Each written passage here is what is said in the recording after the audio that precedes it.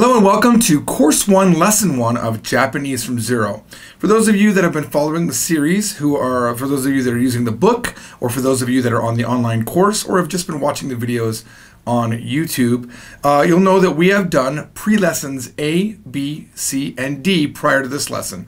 Now those lessons, while being very important, are not as important as the main lessons, and that's why they're called pre-lessons. They're important, but not as important as the main lessons. So you do need to know how pronunciation works. Uh, you do need to know numbers. You do need to know what to say when you're going into someone's house and stuff like that. But I'm not a big fan of teaching a bunch of phrases. I don't like phrase books. Phrase books really teach you one thing and they don't give you the ability to make your own sentences. So what we're going to do starting from this video is go through actual grammar and learn how to make our own sentences because that's how you get good at a language. So today's topic is creating simple sentences. Now, uh, for anyone in this video right now watching it, I have to assume you've already been through the lesson. I assume that you know the new words so that we're not going to spend a lot of time learning the new words. We're just going to learn some of the keywords that we need. So here are some words and phrases that we need. Uh, the key word here that we need is nani. Now, nani, actually, we're not going to use that word at all because nani means what, but it's not, it can't be used in a sentence most of the time. At least today it can't be. Later on, we'll learn ways to use it in a sentence because nani, in this case, so far, what you know is it can be used like this Nani? What? You heard something you didn't understand? You could say, Nani? Not the best way to say it, but hey, at this level, you take what you can get, right? What we are going to be using is the nan, nan version. So we're gonna we're gonna learn how to use that. Now here's a major concept. This is called des. Now des, even though it's written as desu, it's gonna be pronounced like des. This is the most natural way to say it, so I want you to do it that way. Now des means is, am, and are. It covers all of them. Uh, if if you ever taught English, one of the hardest things to teach in English is is, am, and are. The be verbs, like for example, I am. That's fine, I am, but I can't say he am, and I can't say she am. I have to move to they are, or he is, or she is, we are, I am, you are. Like it changes based on what we have. The good news is that in Japanese, it doesn't matter who you're talking about des can mean all three of those things. So we never have to have a different version of des. We can always just use des to say it is, I am, you are, he is, they are, all of those things. Okay? Now there's a phrase that we're going to be using today. It's nandeska, desu ka? Nan desu ka? And that just means what is it? It doesn't mean what is this? It doesn't mean what is that. We're going to learn that in the next lesson. It just means what is it. Now, obviously, if you're holding something in your hand, in English, it doesn't really make sense to say, what is it? So it would be translated as, what is this? But it really isn't. When you learn the grammar behind working with a topic, which we'll do in the next lesson, that'll make sense. Right now, just remember that this means, what is it? Nan desu ka? And you could never say, nani desu ka? It has to be nan desu ka? All right. Now let's dig a little bit into this des thing just to make sure that we understand it. So des is, it doesn't matter what level your Japanese becomes. You are going to use des in all levels of Japanese. I don't care if Japanese from Zero had a book 5,000, you would still have to use des. Des is the core of the Japanese language. Just like is, am, are, the be verb in English, is the core of the English language. It's very important. It is very important. We use it all the time. It wasn't what I was going for, but you understand what I'm saying. It's important. So it means it is, they are, I am, he is, she is. So you're thinking maybe, well, how do I know? How do I know when it means she is? And how do I know when it means he is? It's all context. Context means the situation. It depends on what's happening. The thing about learning Japanese in a textbook or on a course like we're doing right now is a lot of times there isn't context. So learning a language is actually harder than using the language because when you use a language, there's a lot of extra information. For example, I'm at a party and there's people, and I can and, and I know that people are dancing, and I know what the su- the subject is. What, what could possibly happen in a party? Uh, there's uh, people eating, people dancing, people singing. It's loud. There's a certain scope of what can happen at that party. So if I hear something that someone says, I'm gonna apply it to that thing. So I my my Japanese will be better at a party than in a classroom because I'm limited to what happens at a party. If I'm at a party, right, not a zoo, and I hear the word uma for horse, I'm not going to expect it, right? So it probably wouldn't make sense, right? But if you hear uma at a zoo, your brain is already thinking, okay, I'm at a zoo, so uma must mean an animal of some type, so I'm going to flip through my vocabulary for that. Your brain is very compartmentalized, it's very smart.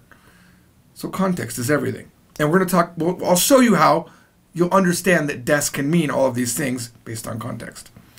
All right. And just a little note here that the sound is des, not desu. Again, there are people that will say desu. It's not wrong. It just sounds a little bit weird. You have to know what you're doing in order to say desu. Like, for example, I'll give you an example, okay? Uh, so desu? A girl's mad and she says, you don't know this phrase yet. We don't learn it until lesson three, but so des means yes, that's correct. It means it's correct.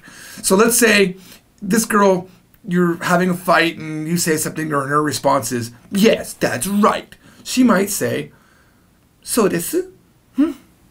She's upset. She's not going to say, so desu, which is kind of nice sounding, right? She's going to say, so desu.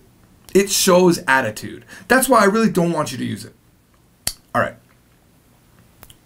I wasn't planning on saying that, but these are unscripted. All right, so let's go to the next one. So here's the concept. Here's how des works. Now in English, we say, for example, it is or the the uh, uh, it not it uh, these are scissors, and we say it is a pen and this is a ruler. We say it like that, where the, the thing comes at the end, right? We say it is and then the thing at the end. In Japanese, it is reversed. The verb always comes at the end of a Japanese sentence. You're going to learn this later on. There's always a verb at the end of a Japanese sentence. And in this case, des covers that. Des is the be verb in Japanese. It is, he is, she is. Okay? So when you have this maru maru des, it means it is a maru maru. Or he is a maru maru. Or she is a maru maru. Okay?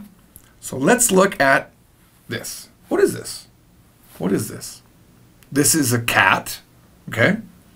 And how do you say cat in Japanese? You say it's neko. It's one of the words in this lesson. So if I want to say it's a cat, I just say neko desu. It's a cat. Neko desu. It's so simple, right? All right. Nan desu ka? There's that phrase. What is it? Nan desu ka?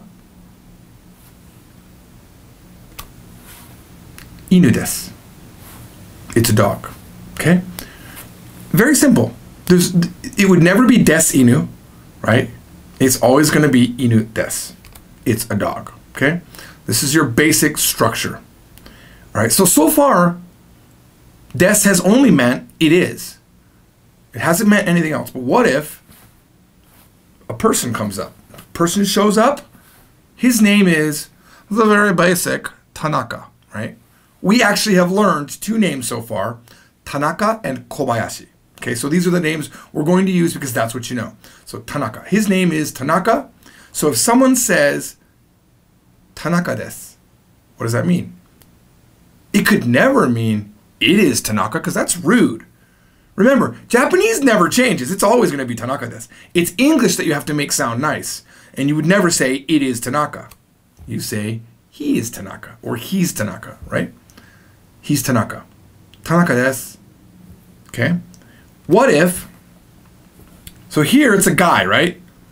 What if another person with the name Tanaka shows up and it's a girl? Now we have context. We're at a party and we see a girl. It's gonna be she is. There's no way it's gonna be anything else. It's gonna be she is Tanaka. And how does the Japanese change? It doesn't. Tanaka desu.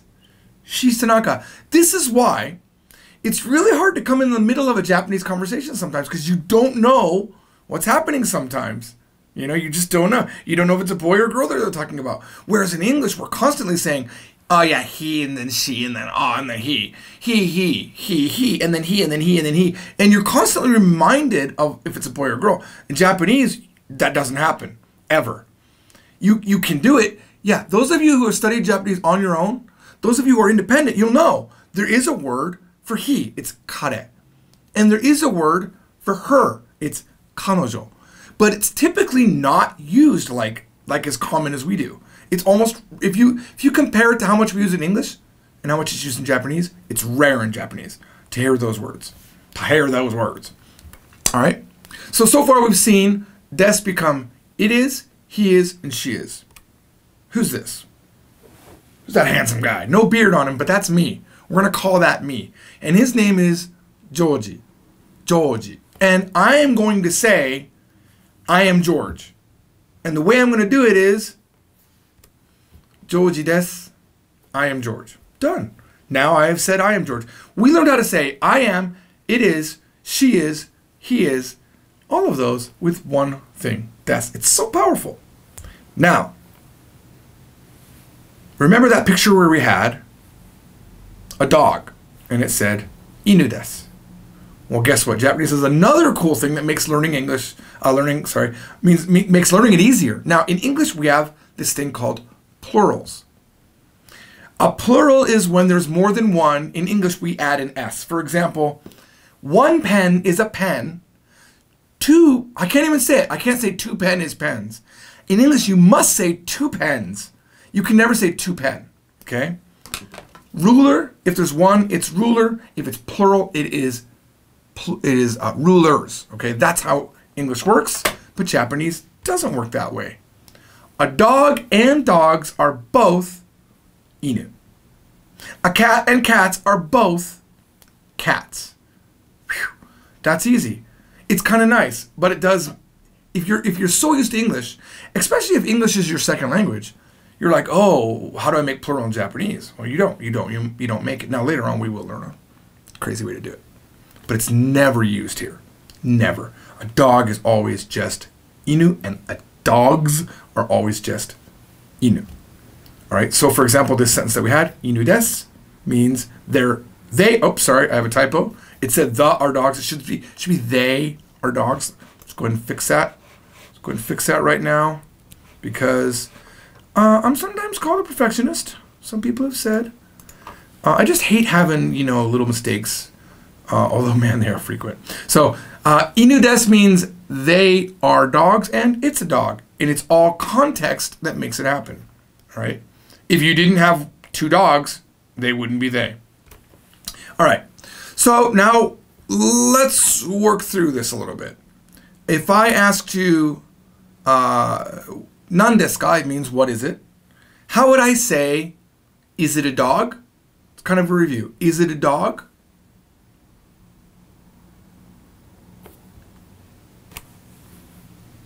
Inu desu?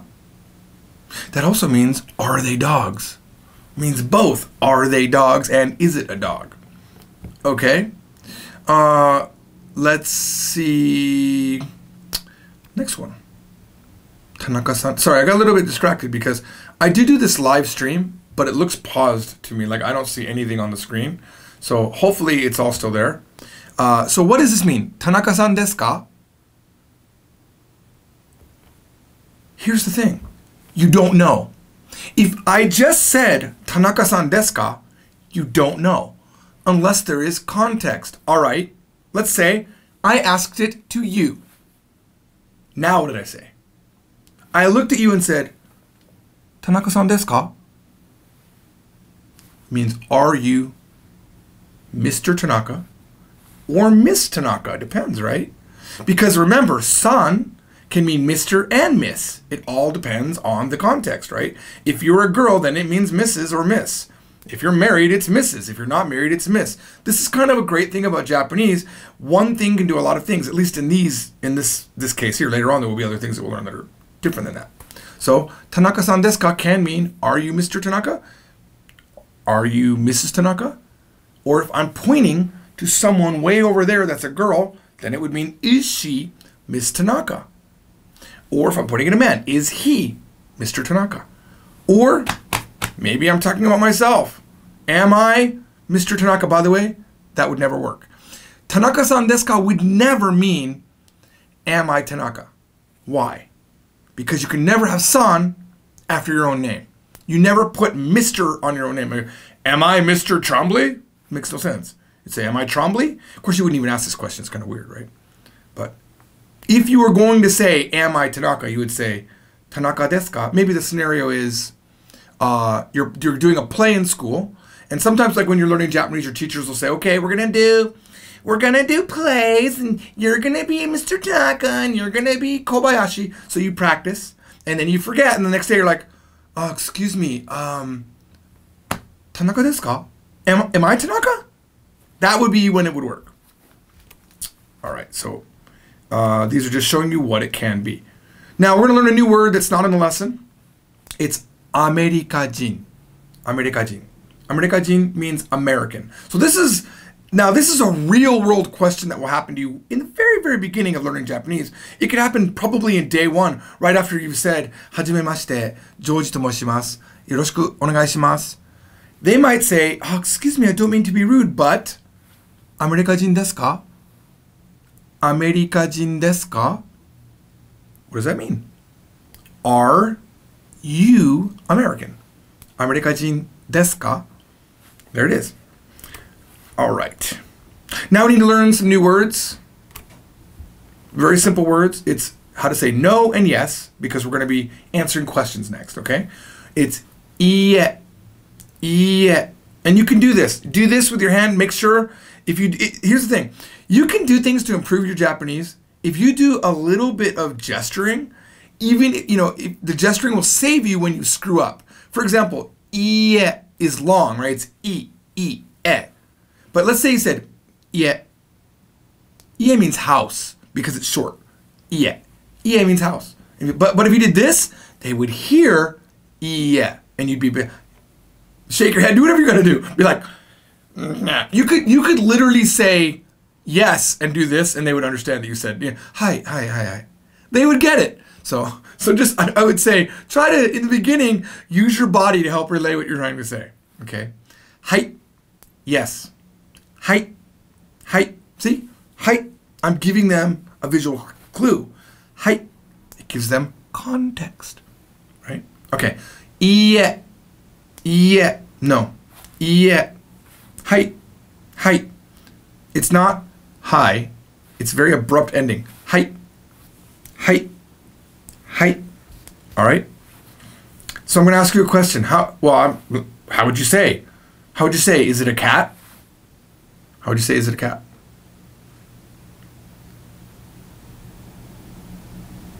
I don't know. It's neko desu ka? Neko desu ka? Now, how would you answer? We just learned how to say height and iye. How would you say yes, it's a cat? Hai, neko desu. Hai, neko desu. Perfect. All right. What if I asked a different question? What if I said to you, how would you say, you have this picture up and you say, is it a dog? How would you say that? Is it a dog? Inu desu ka? Inu desu ka? Obviously, it's not a dog, right? Unless uh, that kind of dog might exist, but that's not a dog. That is a cat, obviously. So I would just say, no, no, it's a cat. いいえ、猫です。いいえ、猫です。Now, what if someone looks at you and asks this question? They say, アメリカ人ですか America Deska, and they might do they, they do this all the time. America Deska. This literally is your signal that they are talking about you. If you were talking about someone else and they all of a sudden said America Deska, would be about them. But they, they do this a lot. America Deska? Ah, America Deska? Are you American? And if you are, you say, Hi, America desu. Hi, I'm saying it like a cute girl voice. Hi, America Jin desu. Desu. Oh, it's being cute. See how I lengthened it and then said the su? See, there's reasons when you can say su, but typically you're just going to say, Hi, アメリカ人です。 But what if you're Chinese? We're going to learn another word. A lot of Chinese people, and a lot of Chinese people study Japanese. So, I don't know why. It's kind of interesting. Uh, いいえ、中国人です。中論、 中国人です。いいえ、中国人です。Alright, so that's how we do easy sentence back and forth. You ask a question, you can answer yes or no. We will do more in the next lesson where we start introducing topics in lesson two. This is extremely important and it's a great continuation of what we just did. I will see you then. Bye bye.